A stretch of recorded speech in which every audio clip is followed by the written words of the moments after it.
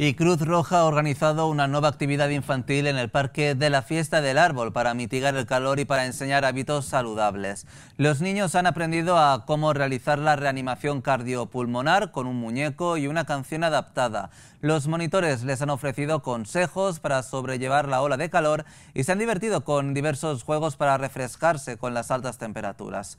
Todo acompañado de un almuerzo con fruta para promover y concienciar a los más jóvenes sobre hábitos saludables. Las actividades de Cruz Roja continuarán a lo largo del verano.